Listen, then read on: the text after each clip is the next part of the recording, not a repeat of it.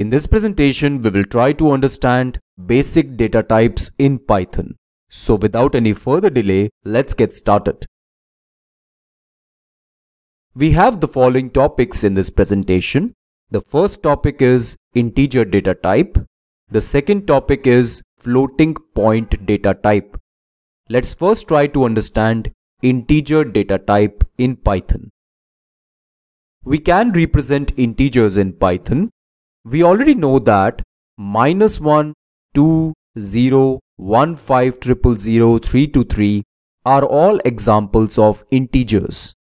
Thankfully, we can represent these integers in Python. We can even store them. In Python, there is no limit on the size of integers.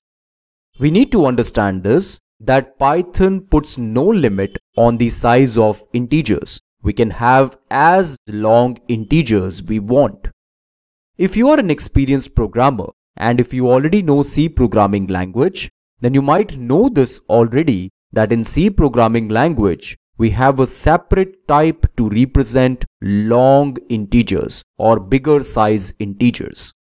We have long type to represent long integers in C programming language.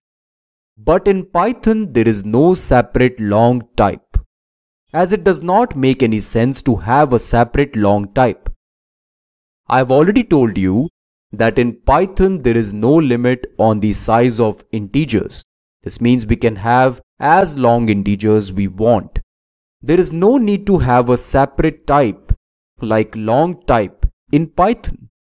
Int type is used to represent integer of any size in Python. Also, you need to remember that in Python there is no need to explicitly specify the type.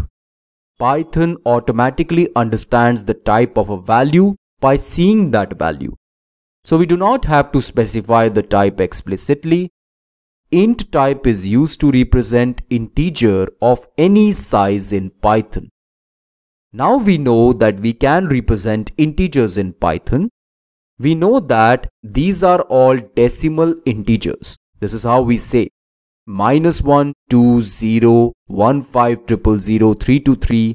These are all examples of decimal integers to be precise. Other than decimal integers, we can represent non-decimal integers as well in Python. Now, we will try to understand how to represent non-decimal integers in Python. In Python, non-decimal integers like binary, octal and hexadecimal can be represented by adding a prefix as follows. We can represent binary, octal and hexadecimal numbers in Python. These are all non-decimal integers as the base is not 10 for these integers. A binary number has base 2, an octal number has base 8 and a hexadecimal number has base 16. Note that decimal numbers have base 10. Okay, so these are all non-decimal integers.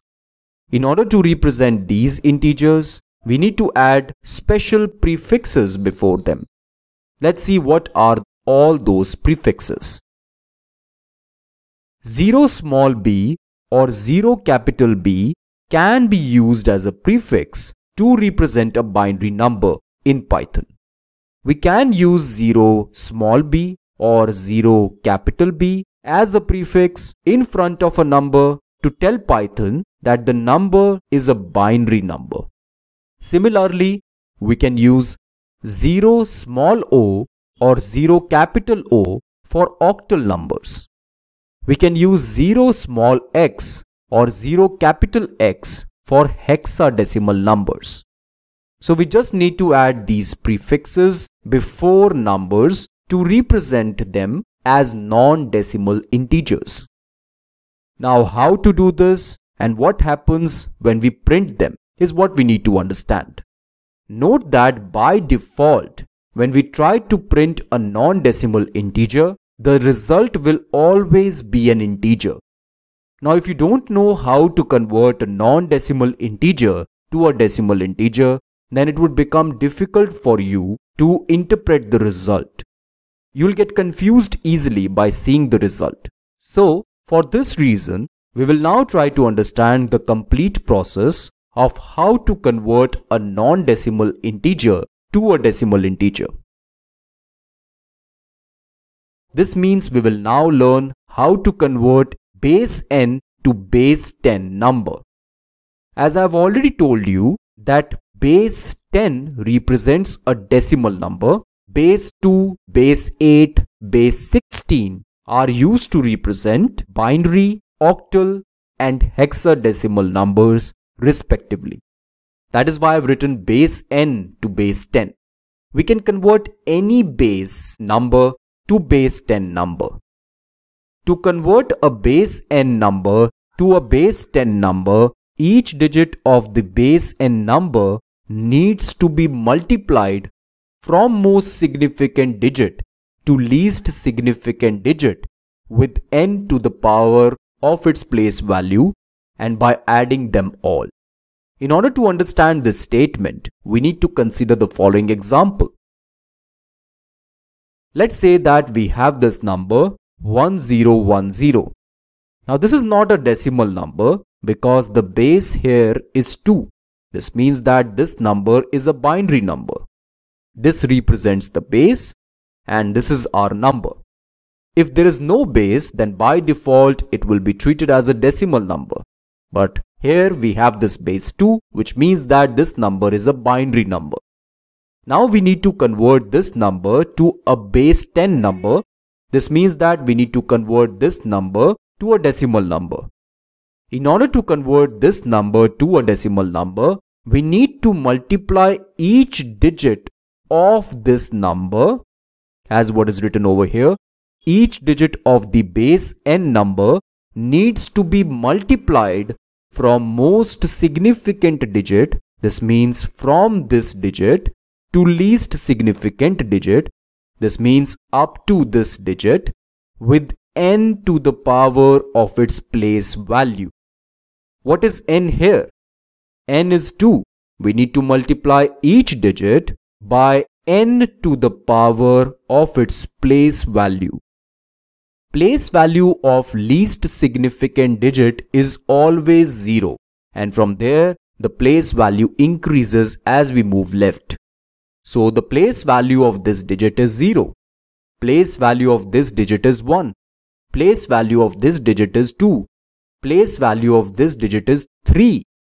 So the most significant digit has the place value 3. We need to multiply each digit by 2 to the power of its place value and then finally we need to add them all. This means that we need to multiply 1 by 2 to the power 3 then 2 to the power 2 must be multiplied by 0 this is what I have written. Then 2 to the power 1 must be multiplied by 1 this is what I have written here. Then we need to multiply 2 to the power 0 by 0 this is what I have written here. Then finally we need to add all these terms. The result will be 10 base 10 note the base here. This is not a binary number this is a decimal number. So this number is the decimal equivalent of this binary number 1010. I hope this process is now clear to you. Now let's consider one more example. Let's say this time we want to convert this number to a decimal number. This number is a hexadecimal number as we can see this that the base of this number is 16. Now the process will be same. We need to multiply each digit of this number by 16 to the power of its place value. Place value of this digit is 0. Place value of this digit is 1. We need to multiply 5 by 16 to the power 1 and we need to multiply 0 by 16 to the power 0 and then we need to add them. So we will get 16 to the power 1 into 5 plus 16 to the power 0 into 0 which is equal to 80. This is the equivalent decimal number of this number. So in Python if we try to print this hexadecimal number we'll get 80 as a result. If we try to print this binary number in Python we'll get 10 as a result. As I have told you already, by default we will get decimal number as a result. Later we will understand that how to print the numbers as it is. But right now you need to understand that if we try to print these numbers, we'll get their equivalent decimal numbers. Okay, enough of theory. Let's try to print some non-decimal numbers on the screen and let's see what we will get as a result. So we are in our command prompt. Let's type Python first in order to activate Python interpreter. We need to type Python and then we need to hit enter. We'll get these three arrows. This means that interpreter is now active. Now we need to type 0b0101. As 0b is added before this number, this means that this number is a binary number. This is how we can represent binary numbers in Python. Now if we hit enter, then we know that interpreter will simply print the result. And we also know that we will get a decimal equivalent of this number. So when we hit enter, we will get this number, 5. Now this is homework for you. Why we are getting 5 here? You need to follow the same process of conversion of base n to base 10. So do the same thing, try to get this result. Now Interpreter is again active and now it is ready to receive the next command. Let's type 0072. You can also write 0 capital O72 and you can also write 0 capital B here. It doesn't really matter. Here I'm writing 0 small o to represent an octal number. This is an octal number, this is not a decimal number. If we hit enter, we'll get 58 as a result. That is why I told you it is important to understand base n to base 10 conversion because this result might confuse you. Again, we need to follow the same process of base n to base 10 conversion. This time, the base is 8. So we need to convert base 8 number to base 10 number. Now let's say we want to know what is the decimal equivalent of 0xff. We'll get 255 as a result. 0x is prefix for hexadecimal number. Note that in a hexadecimal number, the digits are from 0 to 15. 10 in hexadecimal is A, 11 in hexadecimal is B, 12 in hexadecimal is C, 13 in hexadecimal is D, 14 in hexadecimal is E, and 15 in hexadecimal is F. So f in hexadecimal is equal to 15. So note, in this case, we need to multiply 15 by 16 to the power 0 and we also need to multiply 15 by 16 to the power 1 and need to add the results. So in this way, we will get the equivalent decimal value of this number. This is how we can represent non-decimal integers and now we know what happens when we print them. Okay, this means we are done with integer data type. Now we are ready to understand floating point data type. Float in Python is used to represent real numbers and it is written with a decimal point. This is the difference between an integer and a floating point number. A floating point number is always written with a decimal point. These numbers are all real numbers. To specify the scientific notation, E or E, this means small e or capital E, is added at the end of a floating point number. If we want to specify the scientific notation, then we need to use small e or capital E at the end of a floating point number. Let's see what do I mean by this with the help of examples. Again, we are in our command prompt. We need to type python in order to activate the Python interactive shell. We then need to hit enter. Python interactive shell is now active. Type this 1.73. This is a floating point number. If we hit enter, we'll get 1.73 as a result. This makes sense. Now observe this. Let's type 1.73 E5. What do we mean by this E5? First of all, this is a scientific notation. 1.73 E5 is equal to 1.73 into 10 to the power 5. So E5 is representing 10 to the power 5. Okay. So we'll get this value 173,000.0. Now what happens if we write 1.73 E minus 2? I've already told you that we can use small e or capital E. It doesn't really matter. This time I have used capital E. This is 1.73 into 10 to the power minus 2. The result that we will get is 0.0173.